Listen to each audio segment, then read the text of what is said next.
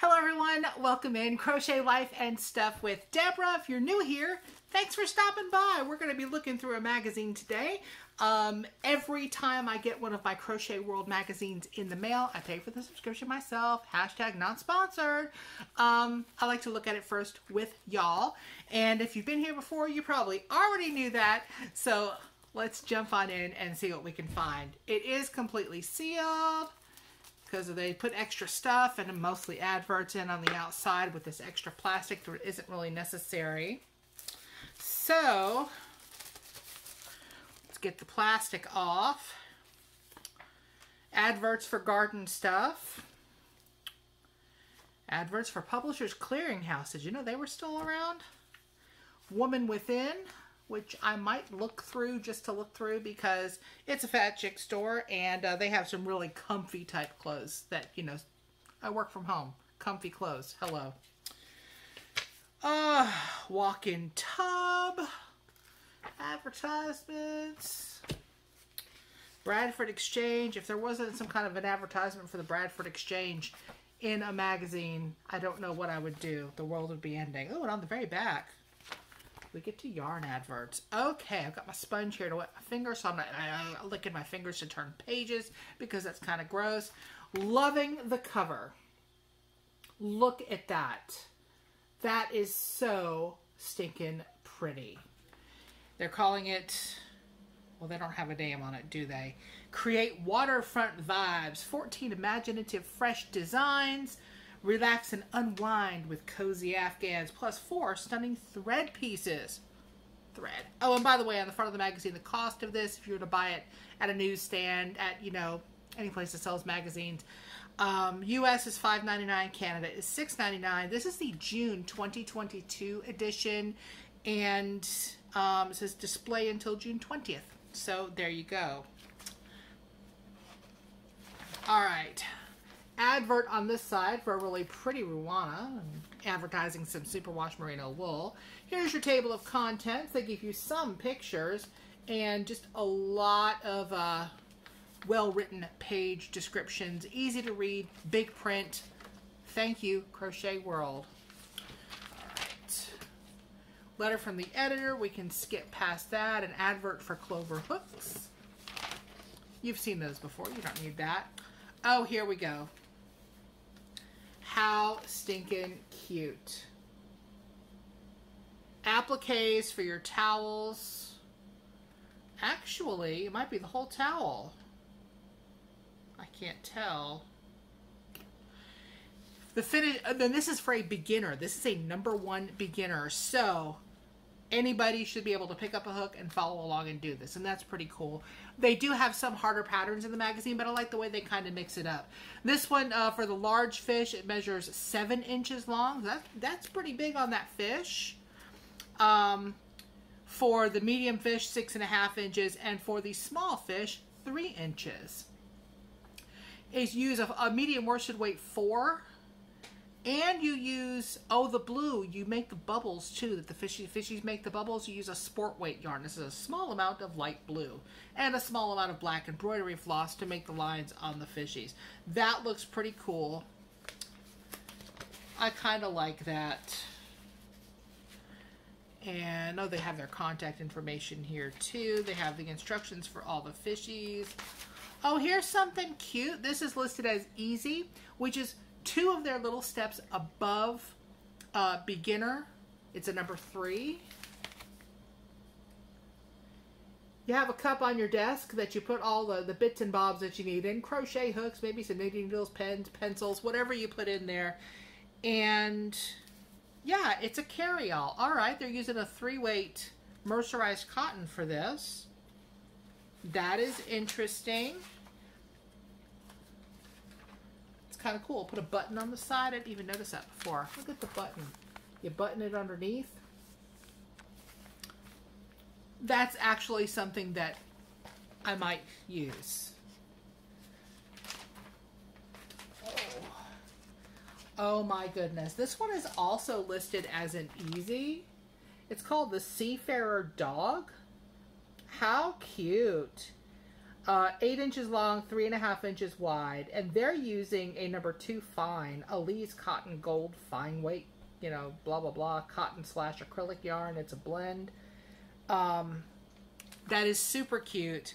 And of course, if you wanted to make life easier on yourself, you could use a bigger yarn.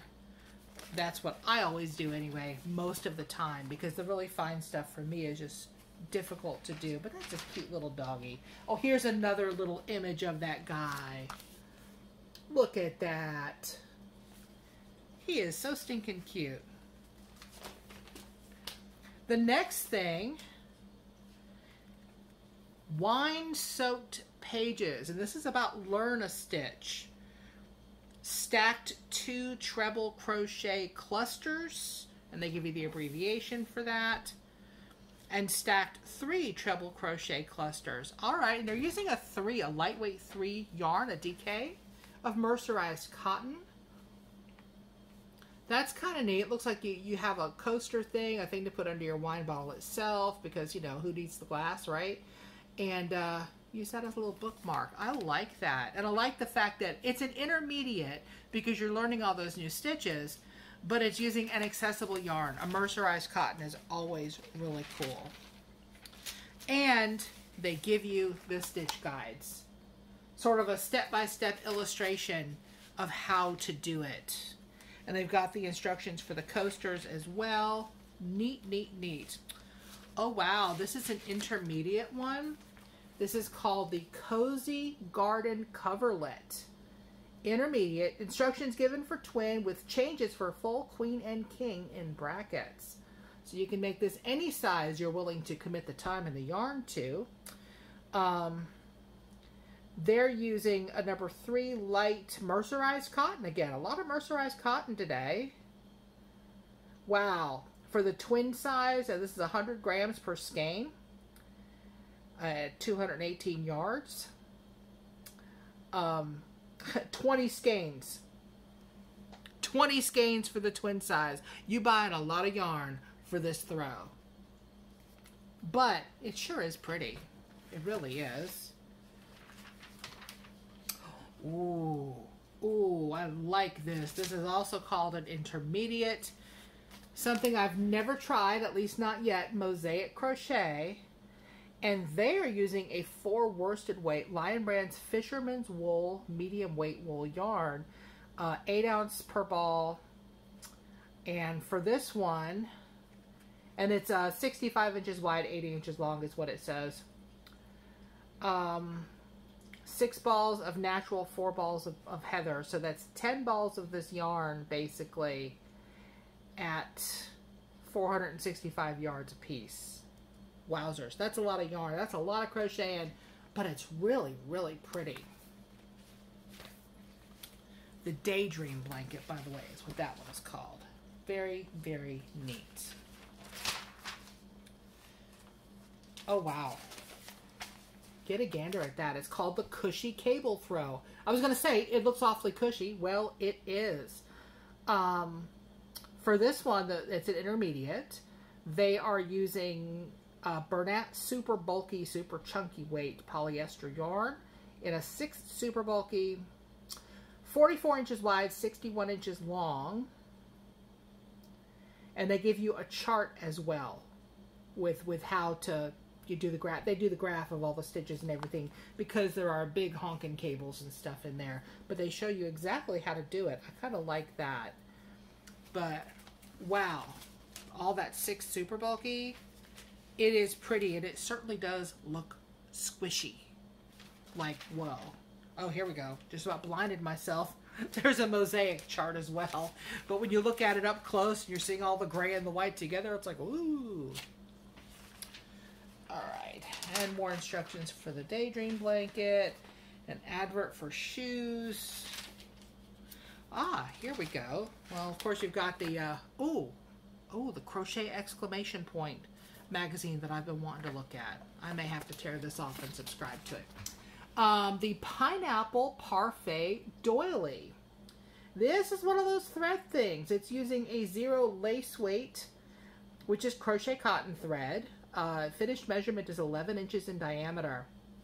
But with any of these like this that use the thread, You could go up to a larger size, you know, just kind of boop, blump it all up, and then it's bigger. I mean, you're not going to get teeny tiny. You may end up with something that'll cover your whole table, but you could do it if you wanted to try and practice the stitches.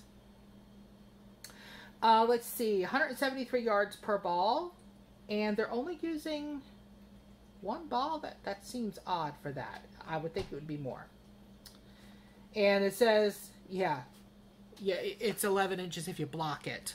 Yeah, I imagine you would have to block that with all those little picos on the outside. Look at that. That's actually so pretty. My grandmother used to make doilies, and I don't remember her looking at a pattern she would just sit there and bloop, bloop, bloop, bloop, you know, and she would also crochet a lot of other stuff, and she knitted as well. I never learned that because knitting is magic. I'm just saying. Oh, oh, oh. When you see this, you're going to know why I went, oh. This is called the Summer Sunset Doily. Isn't that beautiful? I like that. Again, this is in zero lace weight stuff. It's an intermediate um, wow. I, I love the colors. I think the pattern is so pretty and so intricate on that. If only I had the time and the talent. Wow. That is so stinking pretty. You know what I would love this as? Not necessarily as a doily, but as the center to a big throw that afterwards on the outside wasn't so fancy but still had some of those colors in it. Mm. Love it. Yeah, finishing. Block doily. Well, here's another doily. Look at this one. This is called the Jade doily. Again, intermediate. Again, zero lace weight yarn. They're using, it says, the, the American spelling is sheep G's or sheep Jess. It's Scapies, I think, something like that. My mouth doesn't want to make that sound, but Scapies, you know the one I'm talking about. They're using that. Um, wow. That is really pretty. That'd be gorgeous on a white background, like well, they have it on a cream background there. But mm. oh, here's another picture of it without all the other color interference. You can see that. Look at that. That's that's beautiful. Uh, an advert, and not only that, it made a page come out of my book. See that? Um, oh, and this they've got a um, sort of a make along going up in this magazine. This is these are all in lace weight, which is why I didn't even bother. Resplendent Squares, Part Three. They're doing that one this time. And there's the, uh, the whole kit and caboodle there. Very pretty, but again, it's done in a zero. Oh, and here's another one. That's pretty. I love the colors. Some editor's faves on some books. Some World of Crochet with um, write-ups on different crocheters and stuff. Always fun to read. This is a number two, confident beginner. And I know this stitch. This is the Sand and Waves mug rug. Super cute. Do you know why I know that stitch? Because I did a crochet along with Lisa Ladybird Loves last year. Uh, the Pick and Mix Cow, and that's one of the stitches that came up. Loved it. I actually made a couple of washcloths using that stitch because I like the texture that it made. Yeah. Oh, this is cute. This is an easy uh, using a four worsted weight. They're using lily sugar and cream, so they're using cotton yarn for this. It's a rug. It's a sand dollar rug. How cute is that? Let me see the finished size, size on that. 20 inches wide, 25 and a half inches long. So just enough to sit down next to you or something. But that is really cute. And yes, the whole theme is beachy and, you know, like that. Waterfront and all of that. I live in the mountains. I don't live near any water, but that's okay. Oh, I know some people who love this. The Sea Turtle Pillow. Isn't that cute? This is listed as an intermediate made out of uh, four worsted weight Premier Anti-Pilling Everyday Worsted is what they're using for that. This is also an intermediate. Um, and this is for Evening Sea Can Cozy. They show it in a multicolor and then they show it down there in the plain. And they've got a tip. You can just add extra height to it, extra rows, in order to make it like for a taller water bottle or what have you. I like that. Can cozy. Ooh, an advert for Annie's that is just beautiful. I have to show it. Learn to crochet the Gothic Rose Afghan. That is so pretty. All of that dark yarn would make me go completely blind, even worse than I am now. Ah, uh, here is that Beach Waves blanket. That is so stinking pretty. And this is listed as an easy. And they're using Red Heart Super Saver for this, so it's totally accessible. I know a lot of people hate Red Heart Super Saver, whatever, but it's a cheaper yarn that a lot of us can afford when we want to make a big project. And then after you make the big project, you know, you do the washy soaky thing and it makes it a whole lot better.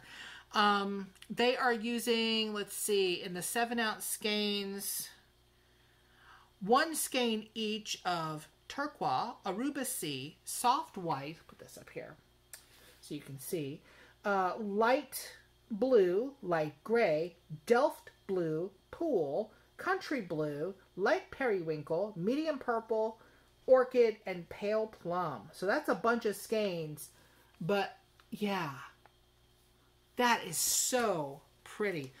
what stitches they're using in that. I'm guessing it's a lot of single crochet. Yeah, because the, their special stitch in this one is a single crochet join. But, I mean, that would be a lot of work. But, oh, how pretty. I love all those colors together. That is awesome. This is cute. This is listed as an easy. Um, this is a flip-flops placemat. Let me get the pattern off of there because, you know, look, it's a placemat. It has little flip-floppy things where you can slide your fork, knife, and spoon. That is so cute. Um, you, they're using Super Saver again. Uh, it's acrylic yarn. And one skein of oatmeal and an ounce or less each of the little flip-flop colors that they're using there. And they give you a close-up of the flip-flop there. How cute. I would, you could use that for something else as well. Instead of, you know, if you didn't want to make the placemats, use the flip-flop design to put on something else. Oh, this is pretty. Oh. The Shoreline Table Runner. Confident Beginner, it says for this one, it's using a DK weight Superwash Lightweight Fine Merino. Yeah. Um, let's see. 18 inches wide by 48 inches long. And it uses five hanks of that yarn. I'm guessing that's an expensive table runner to make. But, you know, you don't have to use the yarn they show in there. You can use whatever you want, whatever you have on hand, especially if it's just something you've got to make and you want to make sure that you've got it down first before you spend the money on the superwash merino okay? And there's another one at the end block runner to size. Uh, they want everybody to block everything. I've still not blocked anything in my life. That is cute. This is called the lakeside blanket i do live near some lakes i would see people having that in their cabins and stuff and no, I don't live near enough the lake to, to be one of the rich people. Okay. Just so we get that clear.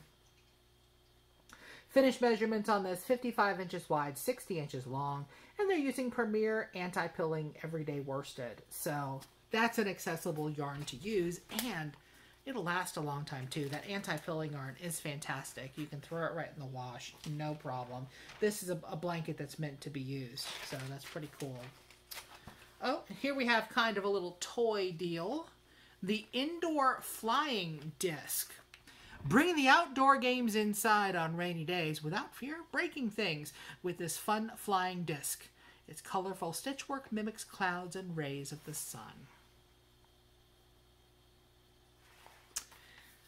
Could still see things getting broken, not from the disc, but from people chasing it and falling and crashing and fighting over it because, well, yeah. And they're using Premier Yarns Home Cotton for that, the cotton polyester blend. So that's easy enough to do. We have an advert for Knit and Crochet. Nautical spoons.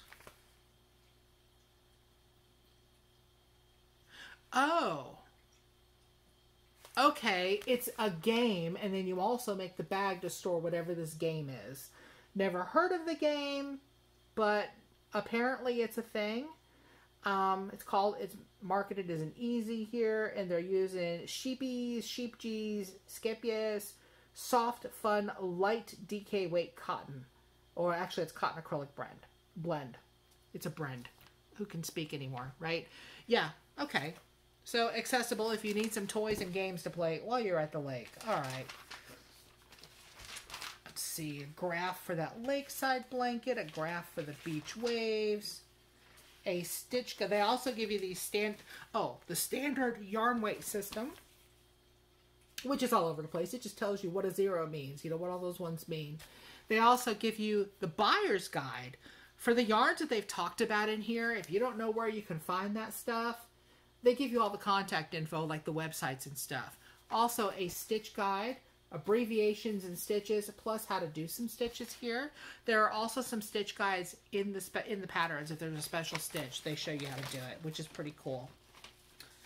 And one thing I really love about this magazine, at the end, they have what they call the design directory, which is all the projects that are in the book and their page numbers. So you get a visual guide. You may not remember that something is called something weird and specific, but yeah, I'm looking for that cup hanger doohickey thing. There it is. You know, the doohickey thing. The technical term, I tell you. Always speak in technical terms. Ooh, a new pattern book from Annie's Crochet, another advert. Crochet charts for dishcloths. That's kind of cool. Maybe I could learn to, to do some mosaic and stuff by some of that. I know it's something I need to learn. I need to do the Tunisian. I need to do all the things. So do you subscribe to Crochet World or have you ever subscribed to Crochet World? Um, I really enjoy it. I um, that's why I went ahead and subscribed. I knew I liked the magazine and I said, yeah, I'll do the thing. Oh, and here's a yeah, I may have to go ahead and sign up for this. I know. Paper subscriptions. What? I like having the magazine in my hands. Yeah, I could do it digitally, but sometimes you just want something to hold. And it's fun to get stuff in the mail that is not a bill. This is so true. But there's an advert, the little card to subscribe to Crochet Exclamation Point magazine. And I really like their stuff too. So, yeah, I may have to do that. Did you have a project you wanted to make out of there, or that you like wish you had the time slash money slash whatever to make? That beautiful sunburst looking doily. Oh my gosh, that it, it's fantastic. And the blanket on the cover, to me, it's the colors. The colors just draw me in. Because I'm a sucker for the cool colors with the blue and the stuff, as I'm wearing tan and brown. What? But, yeah. Love it. Another hit right here. Maybe I'll make something out of it. Maybe I'll just flip through it on a day when I don't have the hand to crochet. It happens sometimes. Thank you again for coming by for the flip through. There were some playlists that popped up if you're watching on most devices that you could always, you know, click on. You can always check out other playlists. I have book looks, I have magazine flip throughs, I do food stuff, I do crochet stuff, I do all the things. At least sometimes it seems that way. I hopefully will see you very, very soon. Take care, y'all.